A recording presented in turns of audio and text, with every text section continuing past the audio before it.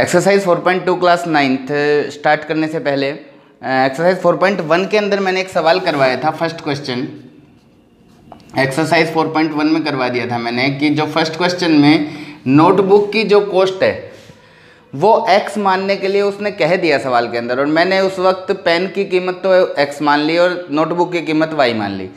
तो उस क्वेश्चन के अंदर आप वेरिएबल्स को चेंज कर लेना। बाकी सारा सवाल ठीक है। जैसे नोटबुक की जो उसका, उसने कहा कि नोटबुक की कॉस्ट जो है तो लेट कॉस्ट ऑफ़ नोटबुक उसने स्पेशल कह दिया। ऐसा कोई ज़रूरी नहीं होता कि हम किसको एक्स माने, किसको वाई माने। लेकिन जब उसने कह दिया, मैंने ध्यान नहीं दिया उसमें कि उसने कह रखा है कि उसे एक्स मान लो। एक हिंट के तौर पे उसने दे दिया। तो ठीक है, फिर उसको एक्स मान लो आप। और कॉस्ट ऑफ़ पेन जो है, वो वाई रुपीज़ हो गई। तो नोटबुक की कीमत जो है, वो पेन से दुगनी दे रखी है। तो इसका मतलब x जो है, वो टू वाई के बराबर आ गया। ठीक है, उसके अंदर जो y है, वो टू एक्स के इक्वल आ गया था। तो कोई फ़र्क नहीं पड़ता उससे। बस केवल वेरिएबल आपके मानने के ऊपर डिपेंड कर रहा है कि वो क्या हुआ। एक्सरसाइज 4.2 देखिए।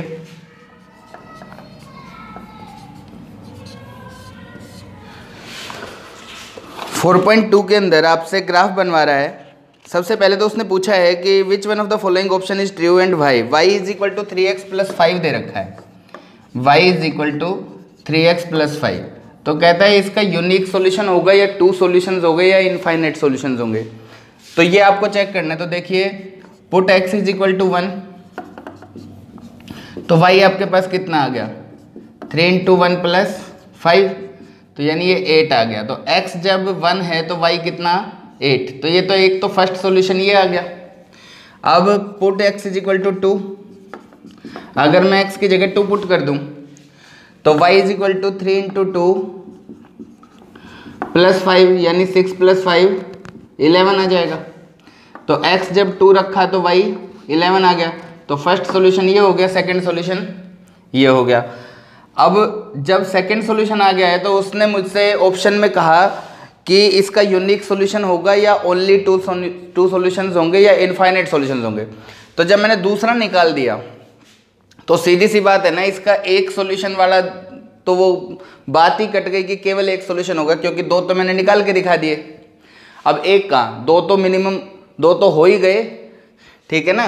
तो इसका मतलब अब मैं अगर put x is equal to three कर दूँ तो y is equal to three into three plus five अब ये फोर्टीन आ गया तो x अगर थ्री रखता हूँ तो y फोर्टीन आता है। ये लो जी, तीसरा सॉल्यूशन भी आ गया इसका।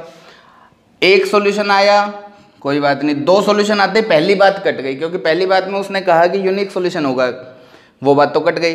अब दूसरी बात में उसने कहा कि केवल दो सोल्यूशन हो गए, जैसे ही मैंने ये निकाला तो वो दूसरी बात भी कट गई। अब तीसरा ऑप्शन क्या है? इनफाइनाइट तो फिर क्या बच गया? इनफाइनाइट तो इसलिए it is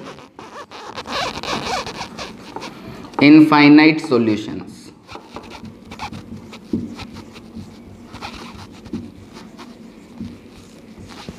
Clear इसके बाद, इसके सेकंड क्वेश्चन में वो कहता है कि अभी आपने ये पता लगाया, हमने इस बात से पता क्या लगाया, ये आप बताइए कि क्या पता लगाया। इसमें ये पता लगाया है हमने कि कोई भी एक लीनियर इक्वेशन हो अगर वन वेरिएबल में। वन टू वेरिएबल में। टू वेरिएबल में अगर कोई भी एक लीनियर इक्वेशन है तो उसके इनफाइनाइट सॉल्यूशन होते हैं।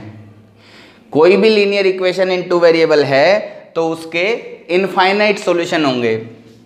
तो अब वो सेकंड क्वेश्चन में क्या कहता है? कहता है, भाई, अगर इनफाइनाइट सॉल्यूशन अगर इसके हैं तो इसका जो फ़र्स्ट पार्ट है two x plus y is equal to seven कहता है, इसके चार सॉल्यूशन तो निकाल दो। अभी अभी आपने कहा कि इसके इनफाइनाइट सॉल्यूशन होंगे। तो चार निकाल दो। तो अपनी मर्ज़ी के चार इसमें कोई भी निकाल दो। जैसे put x is equal to one तो two into one plus y is equal to seven इसको ऐसे लिख लो y is equal to seven minus two x तो इसको मैं डायरेक्ट लिख सकता हूँ seven minus two into one तो ये कितना आ गया फाइव तो एक्स वन वाई फाइव एक सॉल्यूशन तो ये हो गया. फिर put x is equal to two तो y is equal to seven minus two into two यानी सेवन माइनस फोर कितना आ गया थ्री तो x जब टू पुट किया तो y कितना आया? थ्री और put x is equal to three तो y is equal to seven minus two x यानी टू इंटू थ्री यानी क्या आ गया? Seven minus six is equal to one put x is equal to four अपनी मर्ज़ी से कुछ भी पुट पुट कर सकते हो इसके अंदर आप।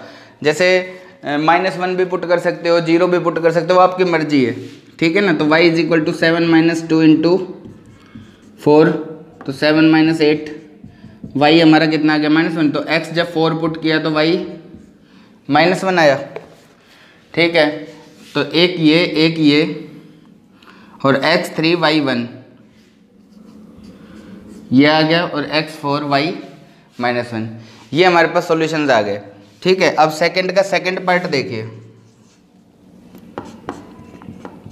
सेकंड में कहता है pi x plus y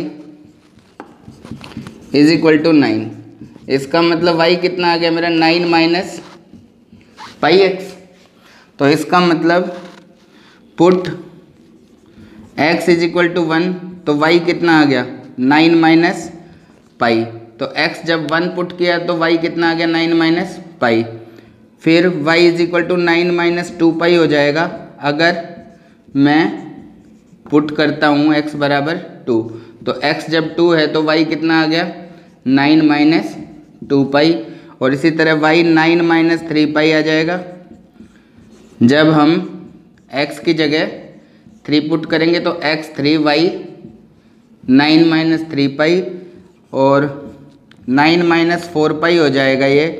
अगर पुट करता हूँ मैं x is equal to four तो एक्स तो फोर और y nine minus four pi.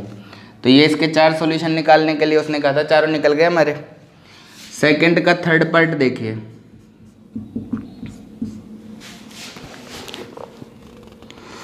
X is equal to four y अब इसमें करो put y is equal to one कर लो। तो x क्या आ जाएगा? फोर इंटू वन कितना आ गया? फोर तो x तो four y one put y is equal to two तो x is equal to four into two यानी एट तो x एट वाई टू फिर put y is equal to three तो x is equal to four into three twelve तो x twelve तो y three फिर put y is equal to four तो x is equal to four into four sixteen यानी ये sixteen x तो sixteen और y कितना? फोर एक, दो, तीन, चार. चार सॉल्यूशन इसके आ गए क्लियर सेकंड क्वेश्चन आपका कंप्लीट हो गया। इसके तीन ही पार्ट थे। ओके क्वेश्चन नंबर थ्री देखिए।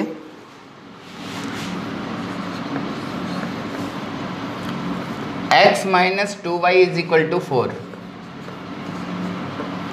कहता है, इनमें से कौन से इसके सॉल्यूशन है और कौन से नहीं है? जैसे फ़र्स्ट के अंदर दे रखा है उसने ज़ीरो टू तो ये इसका सॉल्यूशन है या नहीं, हमें ये पता लगाना तो एक्स की जगह ज़ीरो पुट कीजिए और वाई की जगह टू पुट कीजिए और यहाँ ये आ गया। तो zero minus four is equal to four इसका मतलब minus four is equal to four minus four कभी भी फोर के इक्वल नहीं हो सकता। इसलिए zero two is not the solution.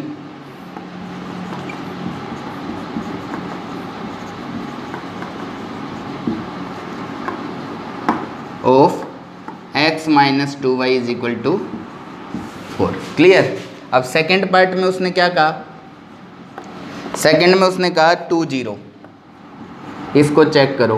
तो x की जगह तो टू रखो तो टू माइनस और y की जगह zero two into zero is equal to four. तो ये क्या आ गया? Two minus zero is equal to four. इसका मतलब two is equal to four. ये भी जो है, सॉल्यूशन इसका नहीं आया, क्योंकि ये दोनों चीज़ इक्वल नहीं आई। अगर ये दोनों चीज़ इक्वल आ जाती तो यहाँ सॉल्यूशन हो जाता, यहाँ भी नहीं हुआ ये। ठीक है सेकंड थर्ड देखिए इसका। थर्ड के अंदर कहता है फोर ज़ीरो तो x की जगह तो फोर पुट करो। Four minus two into zero is equal to four तो four minus zero is equal to four आया। इसका मतलब four is equal to four हो गया। तो ये तो इक्वल आ गए। तो ये ट्रू हो गया। इसका मतलब ये इसका सॉल्यूशन है। ये फोर ज़ीरो जो है, इसका सॉल्यूशन है। यहाँ टू ज़ीरो इसका सॉल्यूशन नहीं था। यहाँ ज़ीरो टू इसका सॉल्यूशन नहीं था। यहाँ फोर ज़ीरो इसका सॉल्यूशन है। ठीक है? अब इसका फोर्थ पार्ट देखिए।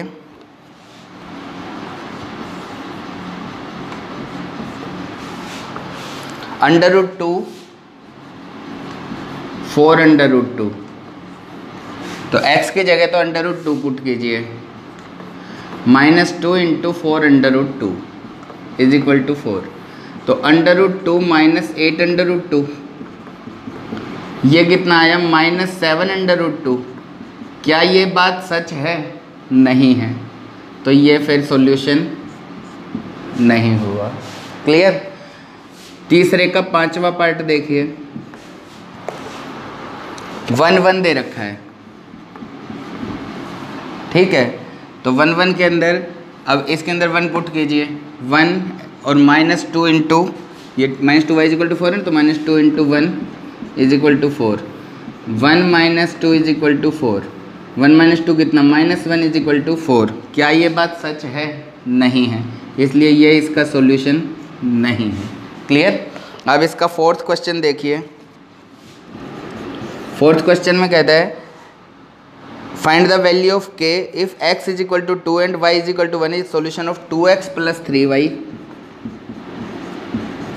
is equal to k two x plus three y is equal to k का सोल्यूशन है कौन?